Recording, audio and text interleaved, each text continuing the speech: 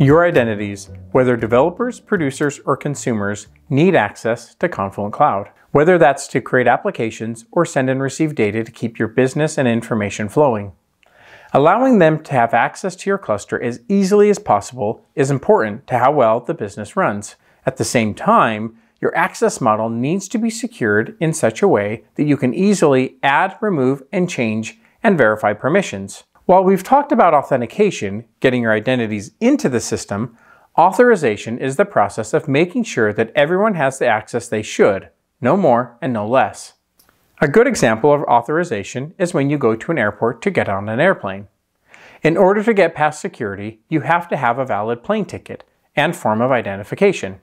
It doesn't particularly matter which ticket, other than it is the one that flies out of that airport and within a reasonable time frame. This is the authentication step we talked about earlier in the course. Once you get to the gate, you present your credentials, in this case your ticket, and they let you board and sit in your assigned seat. You can't use your ticket to access other planes or other seats, only what has been assigned to you. This is the authorization stage. You are only authorized to board one plane and sit in one seat. This is important.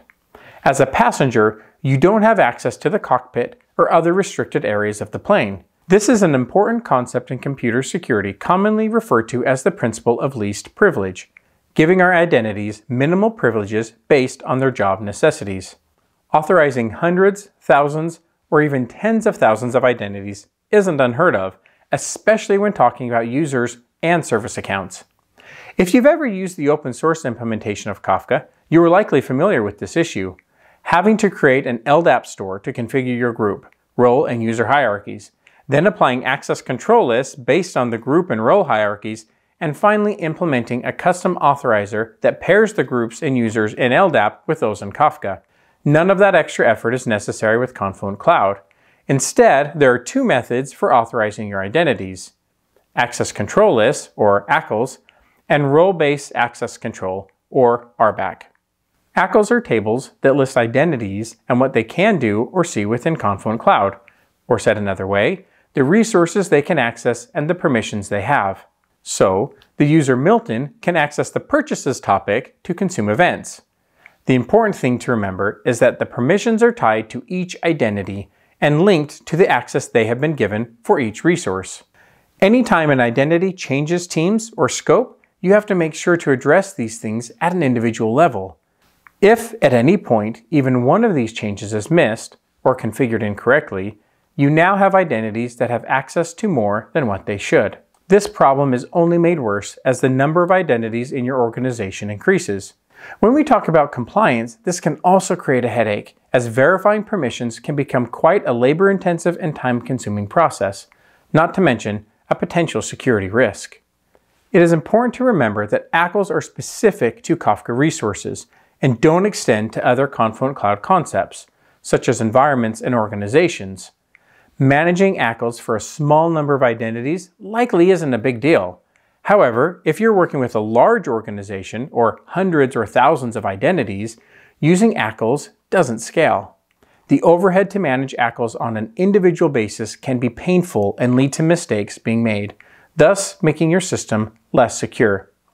Which brings us to the second way of authorizing our principals, role-based access control, or RBAC. RBAC is based on configuring predefined roles within your organization. Identities are assigned to a role and then gain access to an organization, environment, cluster, or specific Kafka resources like topics, consumer groups, and transactional IDs. So, to use our example from earlier, the user Milton is part of a group of users that have access to read data from our purchases topic. So we add him to the developer read role for that topic. From a user's perspective, nothing has changed. Using ACLs, he had access to read the data, and using RBAC, he can still read that same data. However, let's say that we have a new topic, returns, that we would like everyone that has access to the purchases topic to also be able to read. Once we change the RBAC scope, every identity within that role gains the correct access. The same goes for when we need to remove access for a set of identities. RBAC, as opposed to ACLs, integrate with a centralized identity management system and allows much simpler scaling for large organizations. From a compliance perspective, it's much easier to verify your RBAC roles to prove compliance than trying to look at each individual ACL identity. Confluent Cloud has the following roles pre-configured. I recommend that you keep a copy of this table to reference as you begin to plan your access architecture. You'll also want to reference the documentation for the more in-depth details on each of these roles. There are a couple things to keep in mind as you use RBAC in Confluent Cloud. RBAC for Kafka is available only on standard and dedicated clusters.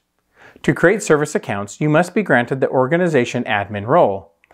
All the other cluster administration roles, environment admin, cloud cluster admin, and resource owner, can grant or revoke permissions for existing service accounts on the resources that they control. Role bindings are limited like every other resource on Confluent Cloud, so you'll want to check the official documentation to see the current guidance. You must use version 2.8.1 or later of the Confluent CLI to manage RBAC roles.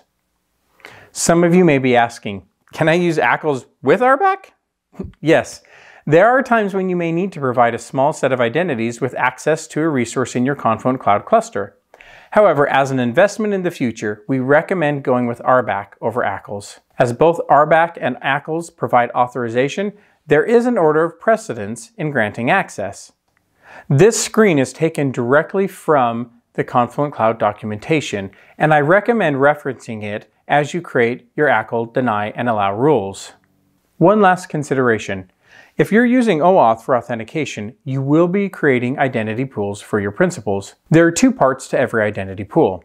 Who can access the pool and what the pool can access. The who is a set of conditions that the identity needs to satisfy in order to use the pool. The what is defined by ACLs and RBAC roles. Now let's take a look at how to set up and manage authorization using Confluent Cloud.